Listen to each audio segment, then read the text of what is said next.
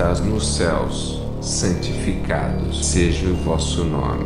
Venha a nós o vosso reino. Seja feita a vossa vontade, assim na terra como no céu. O pão nosso de cada dia nos dai hoje. Perdoai as nossas ofensas, assim como nós perdoamos a quem nos tem ofendido. E não nos deixeis cair em tentação, mas livrai-nos do mal. Amém.